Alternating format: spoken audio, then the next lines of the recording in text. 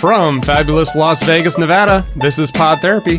Real people, real problems, real therapists. If you have any questions you'd like to ask or advice you'd like to give, come on over to podtherapy.net and join our conversation.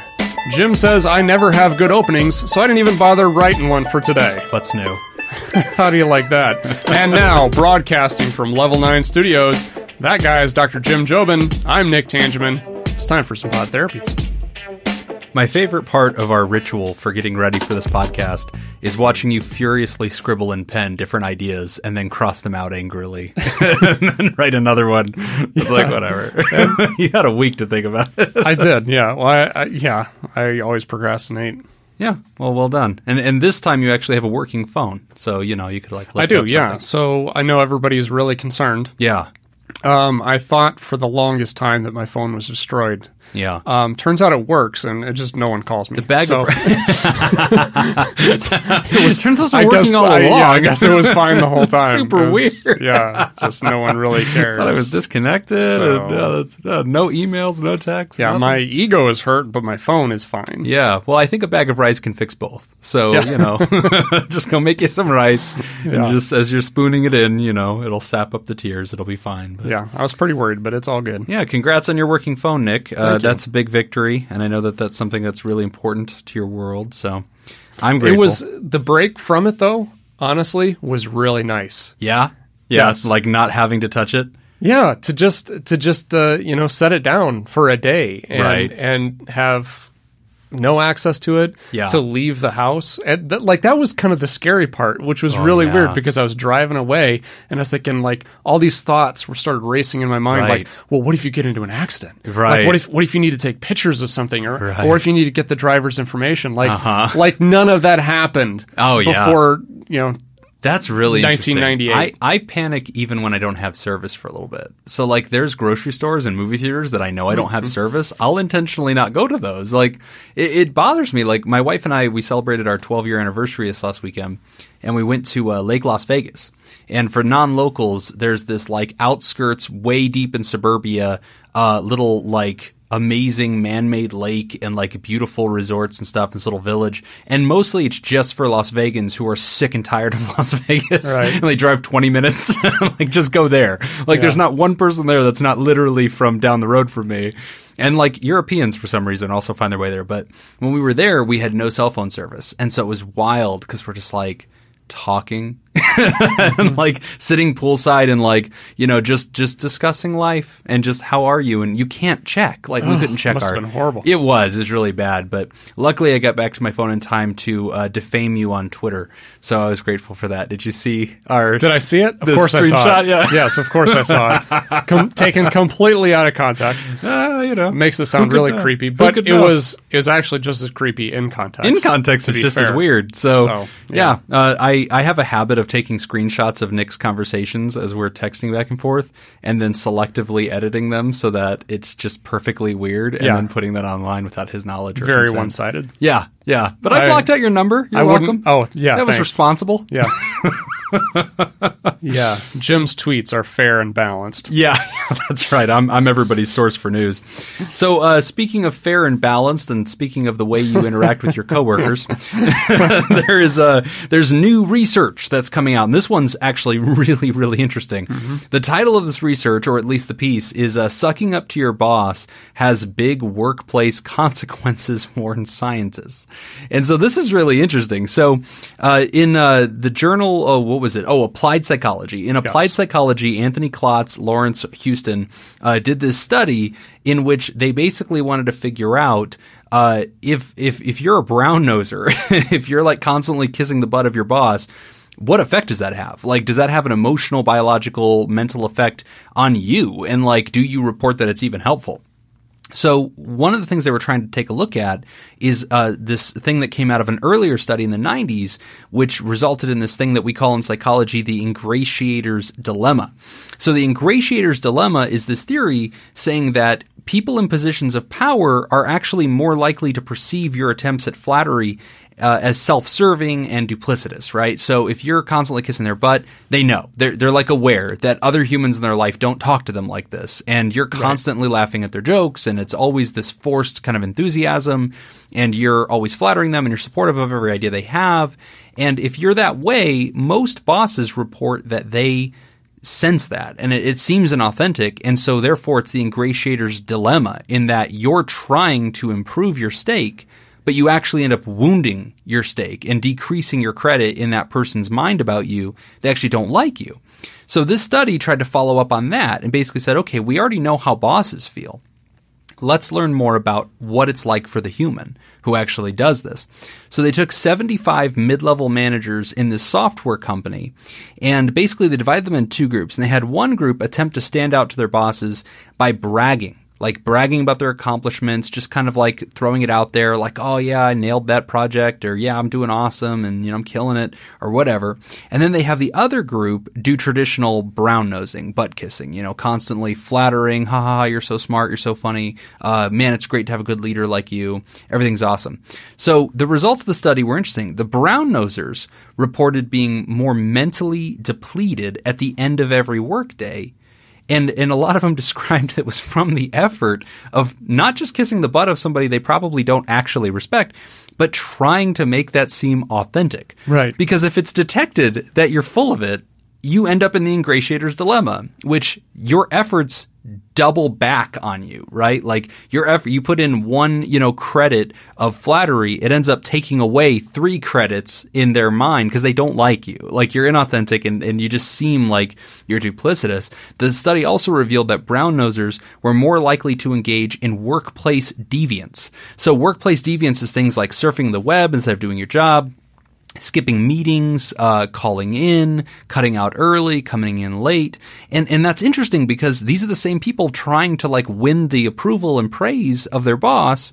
Uh, and so they're being like inauthentic and brown nosing, but we notice that those people also tend to be the ones who cut corners and tend to be the ones who kind of phone it in on the effort. But the study also revealed that the exception to both of those rules, that people would feel exhausted from being inauthentic and that they would, you know, also engage in workplace defiance, the exception to that was if you found a brown noser who actually tested very highly for political intelligence. If they had high political intelligence, they're basically a natural master manipulator that's how they live. Like, it's not weird for them to be, like, to appear authentic or, like, you know, to not be. And so those people actually didn't report any uh, experience of fatigue or, uh, you know, cutting corners. They just showed up to work. That's actually just who they are. So the study has big ramifications. I think it tells us we already knew that bosses, uh, that are being flattered all the time and sucked up to experience that ingratiator's dilemma where they actually resent you and they don't they don't find you useful, valuable or, you know, particularly interesting because they actually come to resent you a little bit and they kind of avoid you. But what we're seeing is on the other side of the line, it isn't good for you. If right. you're a butt kisser, not only are you not going to get the results you want, you're going to be exhausted. You're more likely to underperform at your job. And so it's actually better to approach this from any possible other angle than butt kissing. Right, like uh, genuineness. Yeah, being genuine. yeah. Imagine that. Yeah. but you know, I was also wondering too with the political intelligence or the people who are master manipulators. So they the the researchers studied for this, or, mm-hmm. or, they they looked for it. So there were certain traits that they looked for. What I was kind of interested in is what about the individual's perception of themselves mm. as a master manipulator, oh. or as having high political intelligence. Yeah. So, so for example, I know some people who could look at this study and think, yeah, I'm absolutely a brown noser. Right. But I have really high political intelligence. I'm good at it. Yeah. yeah. When other coworkers maybe like no, no, you no, don't. you don't. Yeah, we notice it. it's not as it's not as good Gosh, as you think. It's funny because early in my career, I was a very big brown noser. Like it was a problem. And it's something that like, God, it's always backfired. Like I cannot look at one time in my life and say, you know what, sucking up to them, uh, flattering them, making them feel great. That won things for me. No, it didn't. I remember whenever I was at another rehab, the one that I was at before the one that we were mm-hmm. just at, uh, there was a, a, very important doctor on the team, and this doctor was well known, a great author. You know who I'm talking about. Yep, I know you're talking. And about. during the very first clinical staffing, I made a joke at his expense. And like I was brand new, like it was first week, and he was very important. Like he was almost the boss, you know, and uh, he certainly had you know uh, power over my life. And I was this new therapist, and uh, I made a joke at his expense, and unfortunately, it was way too funny, and like everybody cracked. And it was one of those things where it's like he's so powerful that he has picadillos, he has little things about him, but we don't make fun of that because he's too powerful, right? And here I am, a new guy, thinking I'm going to break the ice. so like I take a shot at like the first observation I have about him, and it killed, but he was pissed. and, like So- it was bad. My So supervisor you- comes to me afterward and like tunes me up and is like, dude, you need to understand, you know, Dr. So and so is very important, very powerful, does not have this kind of like, you know, humor. And I was like, I'm sorry, I'm sorry. So I tried to kiss this doctor's butt for like a month, overdoing it, trying to dig myself out of the hole. I'm ashamed to admit this, but I really did this. I went and bought the doctor a very nice pen and had it engraved with his name. I'm cringing just listening. and I wrote story. a card in a desperate Oh attempt God. to win his affection. It did not work. He hates me You're to kidding. this day. Yeah, yeah, You're yeah. kidding. My brown nosing has So- always failed. So your attempt, being the new employee, Yeah. what ended up happening is Yeah. you took the old, uh, the old uh, prison philosophy. Uh, take down the biggest Yeah. guy. Yeah. yeah. Turns out that is ill advised. that is ill advised in a in a healthcare or employment setting. But you. not only did that backfire, but then kissing his butt backfired. But it's interesting because I've also been on the other side of the desk. Like I, you know, you and I have both been in supervisor roles where we have Mm-hmm. employees, and that can number, you know, into the dozens. And uh, we've both had interns, you know, people that really want us to mentor them or to lend our licenses to them and help them grow or, or give them opportunities. And I know for me, anytime I've ever had somebody that's like a real butt kisser, and I've come to you before and laughed about it, I'm like, can you believe this person like is like that? It is so inauthentic that it's a turnoff. Mm-hmm. It, I feel awkward in that person's presence. I don't even, I'm not flattered by it. Like, I don't like it. I have met leaders that probably are because they're very insecure, very shallow, and like they probably need a, a cheerleader. But if you're a really decent leader and like a good boss and you've actually earned your role, those suck ups are insulting in a sense. It's like I, I just don't feel Right. comfortable in their presence. Right. So we no longer work together. Yeah. Our but what's we're not- interesting is we have worked together in multiple settings. In one setting, you were my supervisor, and in the Yeah. other setting, I was yours. yeah. and so we've had that that dynamic both ways. And I can I can go on the record and say Nick in no way, shape, or form kisses ass. He doesn't give a damn what you think. He's the most self secure guy on the floor. He does not care. you're you're not completely wrong. It's not that I don't care. I do care. disregard. But uh, but yeah, I mean, I um I, I do see myself as a bit of a suck up in some sense. Do you really? Yeah. Not to Um, me. You never gave a crap what I thought. No, I don't know. It was collaborative that's- though. In yeah. both roles, I think it was collaborative. Yeah. I think that it was like this is our project. Right. We're gonna we're both in this together. Either it Right. goes up or it goes down. So who cares? Yeah. But no, I would say I'm very authentic in the Yeah. sense that if I have a concern or something, I just say it and Yeah. But in what way do you see yourself in the past having done that a little bit? um, in the sense that I, I oh okay, here's a good example. I'm I'm more politically correct in things than sometimes I should be. Okay. That's how I see it. Okay. I see it that sometimes You're there delicate. are th- yes, I'm I can be overly delicate with something. I think fact, that's a good idea. I don't think that's a bad idea at When in all. fact, I definitely, absolutely, hundred percent disagree with something. yeah. but I sometimes I feel like I overcorrect and become too soft. Uh, okay, gentle. I can I can see where one would feel that way, but I'll tell you this: the the the data that we're looking at in this study talks about not only is sucking up to your boss not going to get you ahead in life, your boss has the ingratiator's dilemma where they don't actually right. like you, it backfires. But you will end up being a, a, a less uh, effective worker, and also you'll usually be unhappy and more fatigued and Right. drained at your job. and in that sense, that didn't apply to me. I don't. Yeah, feel. you never felt So I never felt. Yeah, I never felt I was that much. Right. That much of a. But I want to be clear to the listener: the data in no way implies that the opposite has the opposite effect. That if you are uh, cantankerous yeah, and antagonistic to your boss, that you'll be happier and more effective at work. Like that's that's also not the case. So I'm a big believer in don't uh, look for conflict that you can avoid, step around it.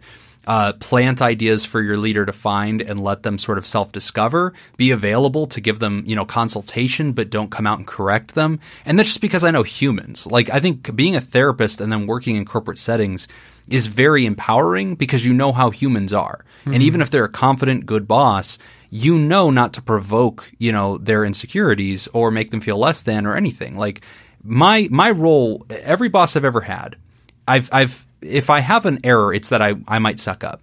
But the middle ground that I've discovered for myself, and I've found it to be pretty effective historically, is that I am somebody you always look forward to seeing. That's my goal. If you are my boss, you should never feel like you want to avoid me because you don't like my encountering me. You don't like my feedback. Uh, I don't want you to hesitate because if you hesitate and we're not talking anymore, then you're not going to call me when you have directions for me. You're not going to give me feedback and you're going to start valuing uh, interacting with somebody who's not me and that person's going to take my job, you know? So like I've always tried to go with the advice of be approachable, uh, be somebody that's easy to get along with, and be somebody who's effective at what you do. Um, and then find subtle ways to highlight what you do. That's one thing I, I'll say about you, because like the second set of people in the study bragged about what they do.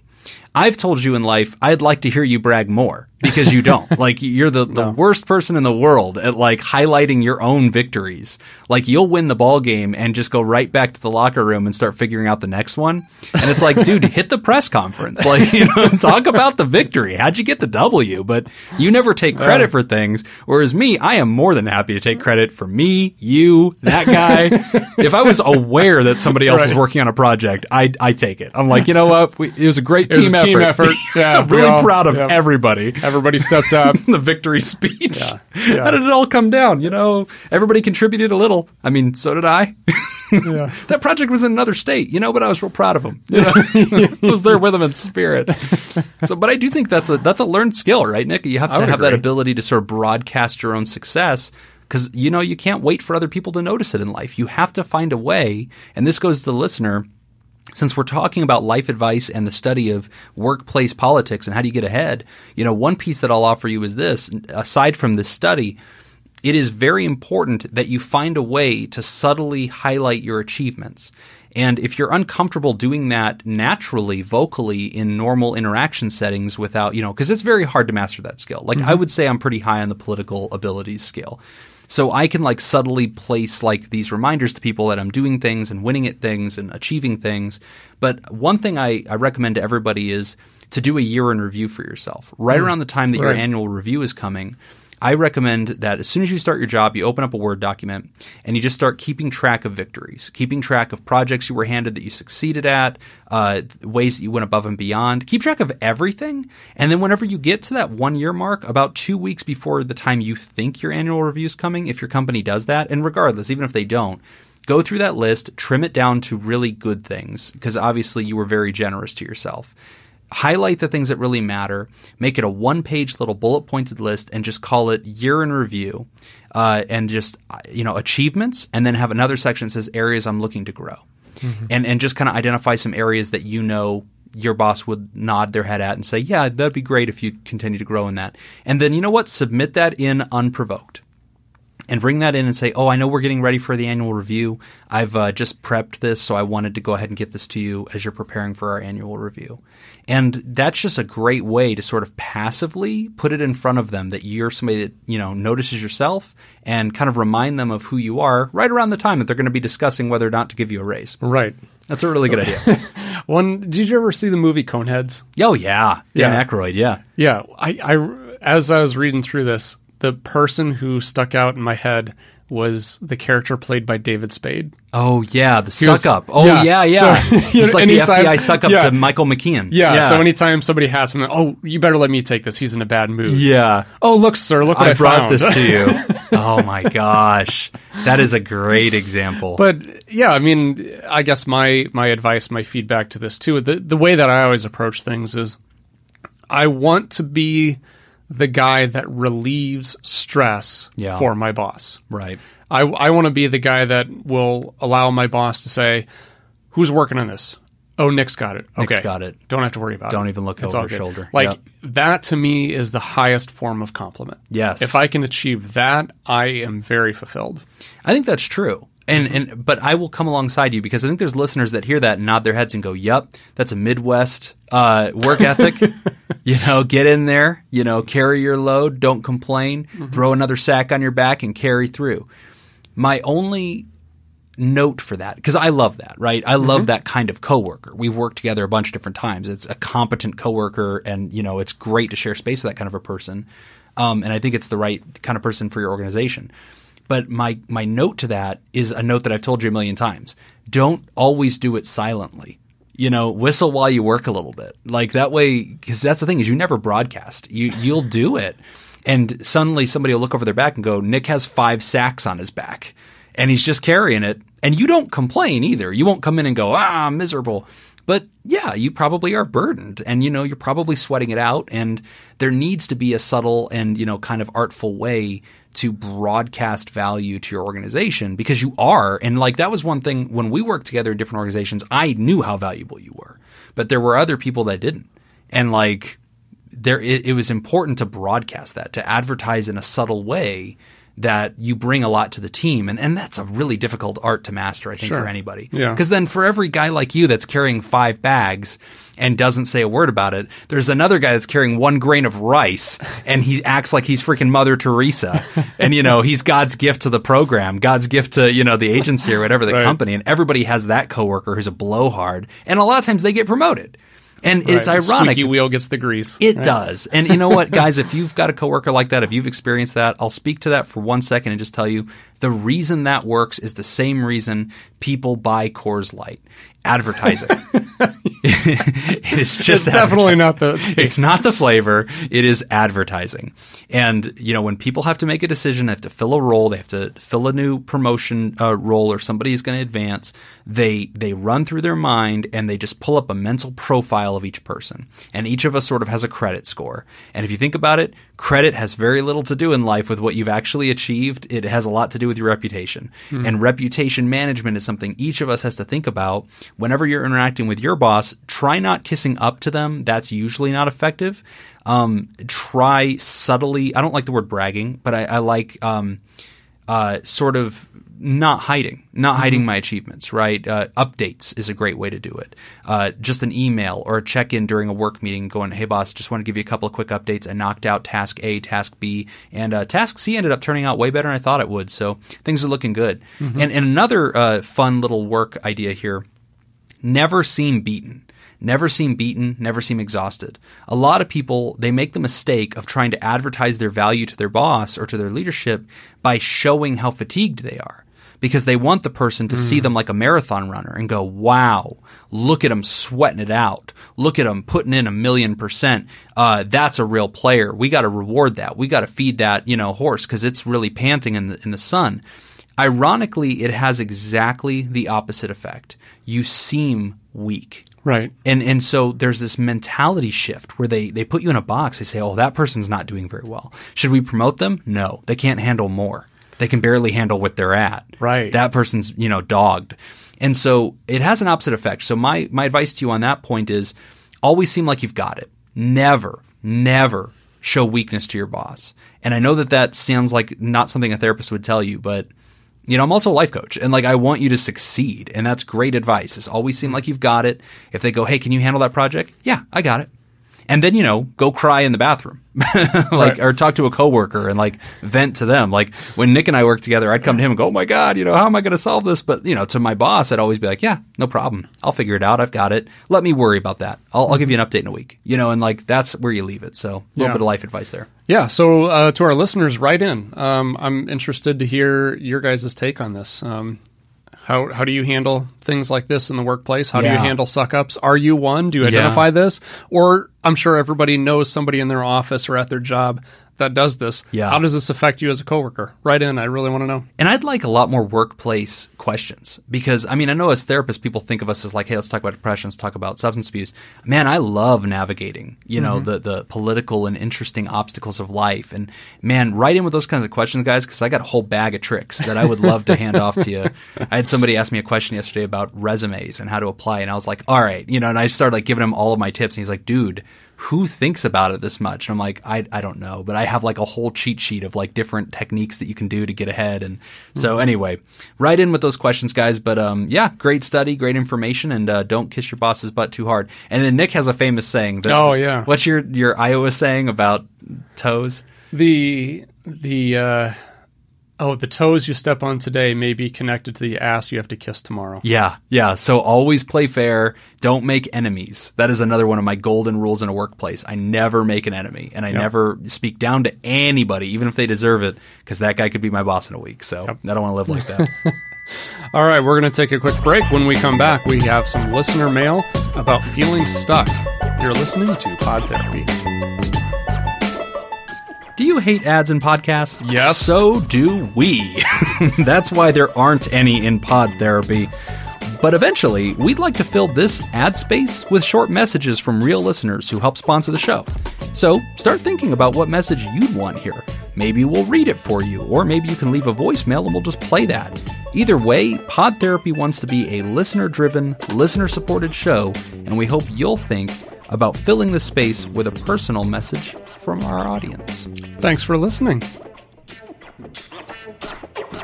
We're back. You're listening to Pod Therapy. Our first listener mail comes to us from a listener, Manuela, who reports feeling stuck. Another 20 something feeling stuck. How lame. Good title. Hi, Nick and Jim. I've been listening to the podcast for a while now, and I'm proud to say that I'm up to date with the episodes. Wow, man. All Good for you. and I apologize for any, you know, aneurysm I may have caused. All right, so this is probably my fifth time trying to write. I usually start, most likely, in the middle of a particularly demanding task at work and give up a few sentences in. So I'll do my best to finish this time. Just so you know who you're talking to, I recently graduated from university, have been working at the same company for about three years. I started as an intern in 2015 and got hired in a different department four months ago. And I hate my job. I hate it. We all know this is not what I want to do. It's a stepping stone, but I hate it so much it's sucking all my ability to cope with life. Today I cried reading two emails from people I cared about telling me that I will be able to leave this place soon. Adding insult to injury, my boss is really hard to deal with. People think I'm joking when I say we have an abusive relationship, but I'm not. I'm always trying to not wake the beast, so I do my job as best as I can, never letting anybody know how bad it makes me feel. I've been stifling my feelings so hard to not show any emotion at work that I usually get home and cry for the most stupid reasons. And I hate that too. I was in the best moment of my life. I am, actually. I'm healthy. Have been able to manage my chronic illness with a lot of success. I just finished brilliantly a very important phase of my academic career. I have a great family, supportive friends, and I recently fell in love with the most amazing guy. And this brings me to another piece of the problem. He lives in another country. I want to leave my country. Not because of him. This has been a plan of mine since I was a kid, but now obviously encouraged by this relationship. Let me tell you, long distance relationships are hard, and it's becoming unbearable. I just feel like I need to go. I'm so unhappy that it's hard to concentrate on work. All my free time is now dedicated to trying to find a way to move. To the US, by the way, which is probably insane considering who's in charge there. I wake up thinking about it. I go through my days shoving down all my angst and feeling stuck. This is important. I feel stuck and I don't even know if I actually am. And I go to sleep fantasizing about already being there. I'm trying really hard to focus on the task at hand, surviving this job, and doing my best to make plans come true, but it's suffocating. Literally, sometimes. So, how do I deal with this paralyzing necessity to go away? Wow, great, uh, great letter. This is um, this is a pretty big deal, and um, Manuela is very active on her Twitter. Mm-hmm. She's she's fun to kind of communicate with. Um, first off, I got to say, uh, let's let's start with the positive things. Congratulations on your academic success. Mm-hmm. Yeah, I mean, it sounds like that's going in the right direction. huge. Um, the love life sounds like that's going well. Yes. So it, the the reason why I always like to start there is because sometimes it can feel overwhelming when you focus on all the things that are not going well. Like that those are the attention grabbers right there. The things that the day-to-day inconveniences and the struggles that we have, those are the things that are fresh on our mind and it becomes really easy to focus on those things and lose sight of some other really big important things that are happening. Yeah. And you're thinking about relocating to the US, that's awesome. We'd love to have you. Yeah. Um, Yes, I, I think some of what you're talking about, as far as uh, you know, you said that you realize that this is a stepping stone. Um, the first thing I would encourage you to take a look at are what are your expectations, because ultimately, that's what's kind of causing this whole thing. Hmm. Whatever whatever it is, whatever your expectations are, they're not being met. So you either have to adjust the environment to be able to meet those expectations, or you have to adjust the expectations to survive in the environment. Yeah. One of those two things has to happen. And it's not uncommon for a lot of people in a situation like this to not really even be fully aware of what their expectations are. Yeah. We have expectations that sometimes are almost kind of subconscious. Like they're so ingrained in us Right. that we don't even realize what they are until we're in a situation where they're not being met. And then in that moment, we know we're unhappy, we know we're frustrated, but we can't exactly figure out why. And I like how you led. I like the the first thing I want to throw out to her is let's get a few perspectives on this, right? Because there's a lot going on, and I really appreciate how you started with it with hey context, right? Mm-hmm. So I call this a Barstow problem, and and I'll explain why. Okay, you're chuckling because I think you already know where I'm going with this. A little bit. So we live in Las Vegas, and a lot of Las Vegans enjoy going to see the beach. And it turns out you have to go to California to do that. There's no beach in Yeah, uh, I moved to Las Vegas for the surfing, and Yeah. I was very disappointed. Very disappointed. Not as advertised. Yeah. One star. so, so we have to pass uh, through this little town called Barstow. And uh, Barstow is um, not a glorious place. It, it is actually a real town. They have like a mall and they have uh, some form of commerce, but mostly they have the uh, 15 North just burning through that thing. But I never enjoy being in Barstow. It is almost as hot as Vegas. It has California taxes, and it is just an inglamorous place that nobody, I think. But I, I look around and realize there's houses there. Like there's people that live there, right? So I call it a Barstow problem because for you, this problem is temporary.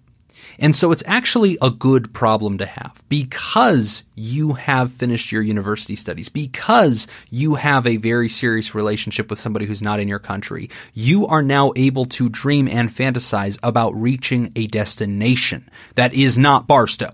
And and that is huge because if my car breaks down and I am SOL stuck in Barstow for the rest of my life, that has deep existential consequences for me. But if I'm pit stopping there or I have a flat tire there and I'm being inconvenienced, I'm stuck there for a temporary amount of time. Yes, I long to get to the beach. Yes, I am frustrated by not getting to the beach. But I want to point out that frustration, anger, angst is superior to depression and dread and sorrow. Hmm. I don't hear hopelessness in this letter. Right. I hear eagerness. That is what we call in therapy a good problem. Hmm. Now, that's not to minimize your problem or your suffering, but let's put it in context. It is a good problem because your conflict is evidence of a future that doesn't look like your present. And it is that desire to boost forward, that desire to inherit the destiny that is what's frustrating and, and, and, and slowing you down and cantankerous in the moment. And that's okay because it is evidence that the future is bright. So I think it's a good problem to have. I agree. So it sounds like between the my advice and your advice, it's kind of somewhere in the middle where there has to be a realistic expectation. Yeah. Right. But to Jim's point, there has to also be some kind of long term goal. Like, I'm not happy being where I'm currently at, and it's perfectly fine not to be happy where we're at. We should never be 100% content, right? Yes. We should always be striving to to do something. I mean, I've been in this job for 15 years. There's still a lot of stuff that I want to learn. There's a lot of things that I'm not content with in my career. There are things that I really need to get better at. And not only that, but just in life in general. Um, outside of my work, there are things in my life that I'm not content with. Right. I'm very happy. I'm I'm very happy with a lot of progress that I've made. Um, I'm learning Spanish, but I'm not there yet. Yeah. I want to get further in that, you know. So there's there's this balance that has to exist. Yeah. Right. But that anticipation of the future is, I think, this beautiful problem in the sense that whenever we are anticipating a, a better future, we feel very unsatisfied with our present. And that dissatisfaction and anticipation swirls together, and it usually comes out feeling like frustration and stuck. And she mm-hmm. says that I feel stuck, but am mm-hmm. I? I don't know. I'm in transit. My friend, Right. you're in Barstow. Right. And if you're stuck there for a long time, you certainly are not happy about it. But you have to remember that you're in a transitional phase of life. So that's my first note is let's zoom out from your problem and look at the storyline of where you are in your life. You are in a chapter, and this chapter is my transition to a better life. I have built the foundation. I am ready for launch, and now we are counting down to my launch. And that feeling of that countdown 10, 9, eight has this sense of stress and anticipation and fearfulness and let's just get it over with, rip the band-aid off. And that's exactly where you're at. But let's talk about how to cope. Mm-hmm. Because you're currently in that stuck place. You're currently in Barstow. So let's figure out how to cope with Barstow. You're stuffing your feelings. You want to cry at work because your boss is literally uh, verbally abusive and pushing you down, and you just feel overwhelmed. You hate your job, even though you've earned it, even though there's a measure of respect and there's a measure, measure of attainment. You you switch departments, and now you don't like what you're doing. You you you say that it's getting you to a place where you're emotionally just broken. So let's talk a little bit about how to cope with that. One of the first things I'm going to ask you to do, and this sounds like a just cliche therapist thing, guys. I cannot overstate the value of journaling. Um, putting your stuff down, languaging your your experience as a human, languaging the emotion words inside of you, languaging the story, is itself therapeutic and healing. And a lot of people don't see that, Nick. They don't understand that they're metabolizing an energy inside of them and they're digesting and processing and turning it into something. And and that process of languaging is itself relieving and stress reducing each day. And so if you're not already journaling, that's something I really want you to be doing. And then the second thing I want you to be doing also in writing is life planning. One of the things, Nick, that she says that she's doing is fantasizing. I love that. I love that. That'll get you through prison. Is thinking about the cheeseburger you're going to get on day one. Mm-hmm. And, you know, if you're stuck on your 100th day of prison in a two year term, one of the best things you can do is sit down and start writing out your plans for when you get out. First month, here's what I'm going to do. Here's the objectives I have. Here are the things I need to make sure I take care of. Where am I going to find a place to rent? All right, I better start looking up some some prices in these different states. Let's look up the industry. Let's go on the job market. And and even though there can be a sense of like you're looking through a looking glass, like you're looking through a telescope and that's far away from you, it's unsatisfying. There's this hope that begins to flare up inside of you and you begin to simulate a different reality, a future reality. I want you to do that as often as possible, not just because it will give you the courage and not just because it will feel like it's preparing you for the next step ahead, but because it will nourish you now as you're in this jail kind of sentence of reality. You've got to think outside of the prison. Put your mind outside of it and you'll notice that you're able to sustain yourself inside of it. And I think that kind of goes with um, my advice that I was getting to with you know changing the meaning behind something. You know, and one of the things that you said is identifying this as a stepping stone. I like that because that that identifies this as being this has purpose itself. Yes. I, I can be uncomfortable right now and I can deal with it. I can cope with it.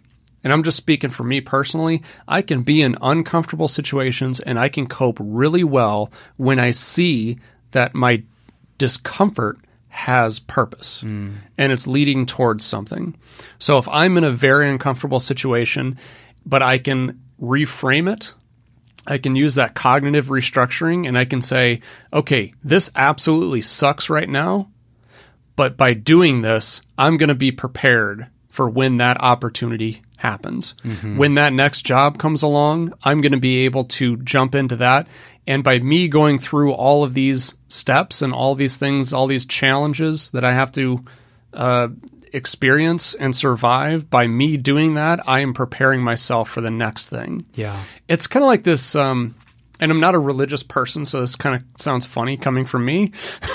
but this idea that like there's some kind of planning or there's some kind of hmm. purpose. Like all of these negative things that I've gone through in my life have prepared me to excel at the right time. Yeah. When opportunities present itself, I'm there, I'm ready, and I've already done the hard work. Yeah. Right. I think that's true. Yeah. So it's a, it's just kind of a way of reframing it. And this is where I think it ties in closely with the journaling because when you journal, the thing that I like to encourage my clients to do when they journal is then go back and read it later it, yeah. and then look at cognitive distortions. Mm-hmm. Look at things that we're writing down that when we look at it a second time, we can say, uh, okay, that may not be completely true. Yeah. That is a little bit distorted. I guess I don't really have the facts to support that conclusion. Maybe that's Right. inaccurate. But by writing stuff down, it helps you go back and identify those things. Yeah.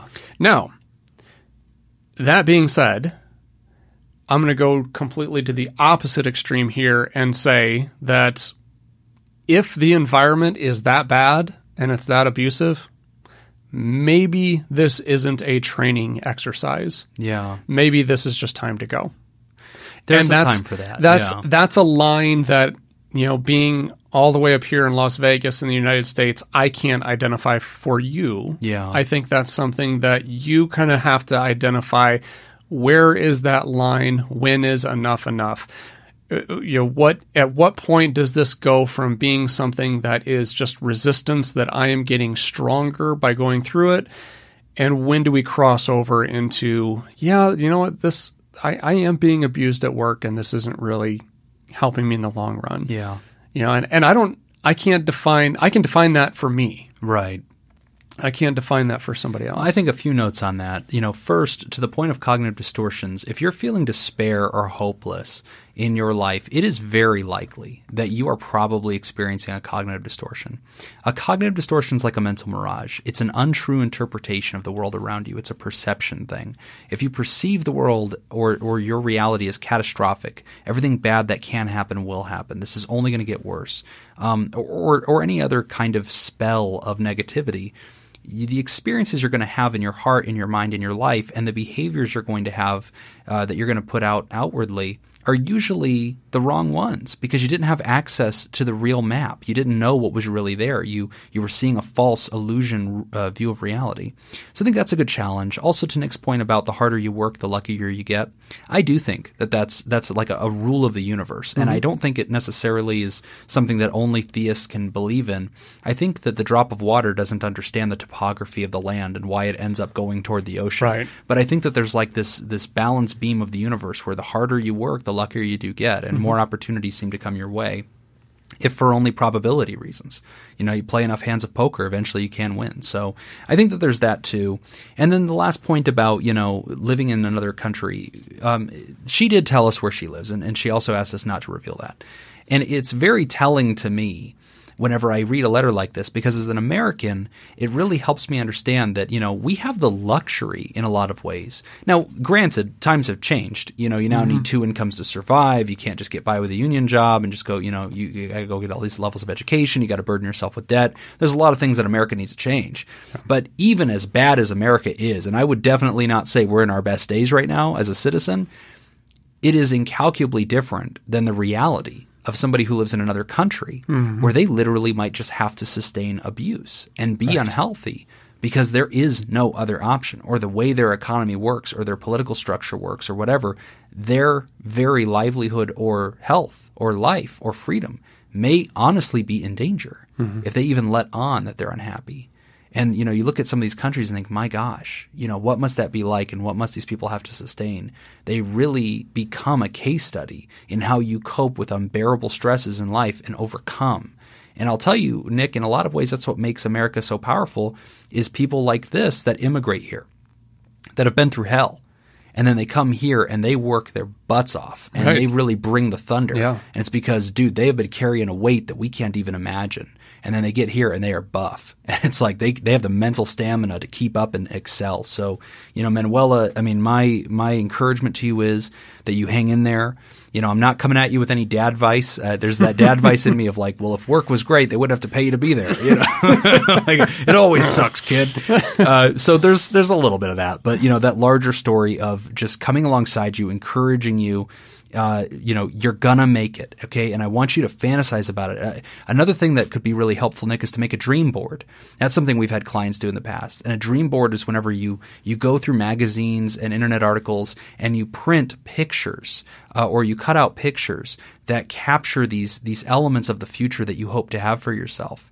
Poems excerpts and you put all this on a poster board and you hang this in your room. And that way every time you look at it you're reminded of the destiny ahead of you of the things you're working toward. That's the stuff that will get you through. But remind yourself that your present is not your future that your destiny your destination is not your your current predicament and that anticipation often feels like frustration but this is a barstow problem and you're on your way somewhere better mm-hmm. Very good. Thank you for writing in. Okay, we're going to take a short break. When we come back, we will answer a question about therapeutic modalities. You're listening to Pod Therapy. Hey, Therapals. How would you like to be a part of a live recording of Pod Therapy? Of course you would. You can, and a whole lot more, when you buy your ticket to Scoop Fest 2018. This is the third annual Scoop Fest put on by our friends Matt, Paul, and Jacob from the Ice Cream Social podcast. A weekend long comedy and podcast festival in beautiful Las Vegas, Nevada, coming up on October 12th through the 14th. Enjoy live comedy, variety shows, the Scoop Talent Show. I know Jim's preparing for that. He's getting super excited. And the Jock versus Nerd Costume Ball, and much, much more, including live recordings of Matt and Mattingly's Ice Cream Social, Pod Therapy, and some of your other favorite podcasts. So get your tickets now. Go on over to heyscoops.com. There will be a discount code for our listeners. That code is therapy. So that's heyscoops.com, discount code therapy. Get your tickets today. All right, we're back. You're listening to Pod Therapy. Our next listener writes in anonymously and is asking about therapeutic models. Okay, this letter says Is CBT the same as DBT? So, CBT, just before we even read the question, is cognitive behavioral therapy, and DBT is dialectical behavioral therapy. So, he's asking, are these the same? Or she, I don't know, it's anonymous. Okay, here's the letter. In the latest episode, there was talk of using cognitive behavioral therapy to help clients. In therapy, I've used dialectical behavioral therapy as a way to help with anxiety, depression, and low self esteem issues. Are there benefits in using one over the other? Thank you. Anonymous. Okay. Um, yeah, they they are a little bit different. Um, so DBT, and I'm just going to give my my best uh, explanation behind this. Um, I've had no actual formal training in DBT, but I know enough about it to kind of give you the basic understanding, basic uh, description. So within DBT, there are components of cognitive behavioral therapy the big thing that DBT is used for, uh, it was created actually by uh, Marsha Linehan, um, who herself was diagnosed with um, borderline personality disorder. Uh, she developed this because so many therapists were really getting uh, fatigued and burnt out working with this one population. So she tried finding something that was going to be beneficial. DBT uh, the dialectical part of it um, really kind of focuses on the balance between um, acceptance and change. So that's where DBT is a little bit different than CBT. It it has that extra focus. So to kind of it's hard to explain, but basically it's it's being able to identify what things we are going to have to learn how to accept and what things we are going to actively work on behavioral change to to create a different outcome. So, are there benefits to using one over the other? Um, yes, uh, both can be very effective. DBT is especially effective when working with individuals who struggle with emotional regulation. So if that describes you, DBT might be a good uh, a good therapeutic model for you. Uh, one of the things also that's important with DBT is that DBT also has with it, in addition to individual therapy, you would be doing skills groups, and these skills groups really focus on uh, the development and use of DBT skills that then would be used in conjunction with therapy. Uh, CBT doesn't really have that necessarily. You can do CBT in just individual sessions, but DBT um, it has that extra component, that group skills component, which is very important. Yeah. So the essence of it is this: DBT is a form of CBT. So again, we like to define terms on this show. So cognitive behavioral therapy was this uh, psychotherapeutic technique developed by Dr. Aaron Beck, and Dr. Beck at the time was really studying depression and anxiety.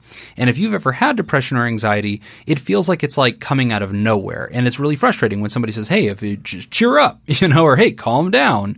And it feels like, dude, it's hard to explain. It's outside of my control. I don't have the ability to deal with this. Dr. Beck realized that there was kind of like this chain reaction of things that sort of lead to that experience.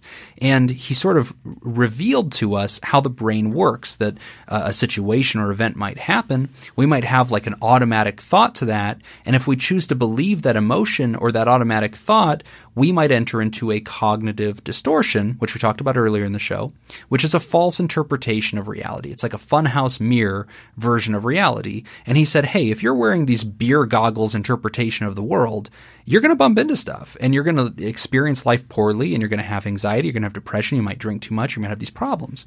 What happened with DBT, dialectical behavioral therapy, was that while CBT is very effective, it's particularly difficult to use it with people who have borderline personality disorder. So, borderline personality disorder, which we've covered in a previous episode, is sort of that I hate you, or I love you, don't leave me, right? Mm-hmm. It's it's that that disability to balance boundaries with other people in your life, and you have this pattern of self-destructive social behavior where you cling to people and let them into your world way too quickly and give them way too much power, and then also forcefully, explosively push them away and sort of eviscerate relationships at the drop of a hat as well. And so it's this explosive uh, and and also very grasping sort of personality habit, which we call borderline personality disorder.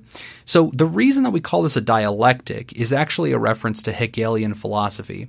So Hegel wrote a form of philosophy called the dialectic, and basically his argument was you can take a thesis, which is a statement of truth, and an antithesis or an antithesis, which is the exact opposite of that truth.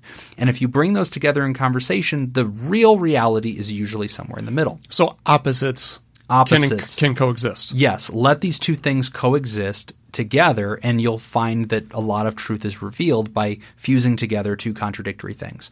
So whenever dialectic behavioral therapy was created, it was with that concept of the borderline person who is at once in love with you and also contradictorily the antithesis of love, absolute hate with you and is capable of flipping very violently between the two. So dialectical tries to fuse these two together to create normal, healthy boundary relationships, which is why a big part of it that makes it different than CBT CBT can be done individually and may use groups. That's fine. Mm-hmm. DBT doesn't want to be done individually. Right. DBT wants groups, and it has a strong emphasis on what we call psychosocial, uh, which is that psychology of how humans interact with each other. And a lot of the skills that you're building actually have to do with how to fuse people back together in healthy boundaries by comparing those two opposites. Yeah. So with the with the opposites, uh, to kind of give you an example, um, mom says she loves me, but she's mad at me because of this behavior I did. Right. For people who struggle with that, this is where DBT would be beneficial. These two are opposites, but they can coexist. Yeah. It's working on fusing those two together and understanding the they two they fit together. Yeah, and you know the other part of the question was about uh, one thing being more useful than the other. And here's a fascinating fact that a lot of our, our listeners don't know, but uh, every clinician uh, had to learn this at one point. So, whenever we're going through our studies in graduate school and we're learning about psychotherapy and about different techniques, uh, there comes a time when you take a class where they introduce you to like a dozen different techniques. And it's really funny because one of the first things they warn you is there is no technique that's better than the other techniques. And that's very confusing because all the techniques beat the placebo, right? Like all mm-hmm. of them beat nothing. Uh, and all of them beat non-evidence based ideas, like just you know just throwing a book at it, or let's go out and just do push-ups, or coming up with some dumb idea. All the techniques that are evidence based, that are good psychology, science uh, based, they are effective, but we've never seen that any of them are more effective than the others for everything. CBT has like a really good winning record when it comes to things like depression and anxiety. DBT has a really strong record when it comes to borderline. So they have different areas where they're the best uh, approach. And I usually compare it to uh, MMA fighting, right? So like UFC, uh, two people go in the cage and they're allowed to punch, they're allowed to kick, they're allowed to wrestle, they're allowed to throw people, they're allowed to do anything they want as long as they beat up the bad guy. And that's how psychotherapy is. We all have different approaches. You know, just like some people use karate, some people use boxing, some people use wrestling. Some uh, uh clinicians will use uh, cognitive behavioral therapy. Some will use solution focused uh, brief treatments. Some will use systems modalities like uh, family systems theory. Some will use narrative therapy. I mean, there's all these different ideas. There's Adlerian therapy. There's Freudian psychoanalysis. Um, and I'd love to eventually do a show where we just one by one explain what these are. But uh, I just know the listener would fall asleep. So I'm, I'm, I'm nerding sorry. out over I'm here, Nick. Sorry, I need I you to rescue listening. me. What? Yeah. I'm not listening. Hopefully that answers your question. Yeah. Uh, I promise our live show will be way more entertaining than Jim providing a lecture on all the different forms of psychotherapy and why they're different and what they're good at. But yeah. suffice it to say, the answer to the question of is one better than the other? No. No, they're not. Um, if you have a, a, skilled clinician who utilizes one effectively, they will probably beat the problem. Mm-hmm. Very good. That's all the time that we've got for this week's session. Thank you to those who contributed to our show today. We really appreciate it. Remember, pod therapy isn't something you should keep all to yourself. Help us reach others by sharing this episode.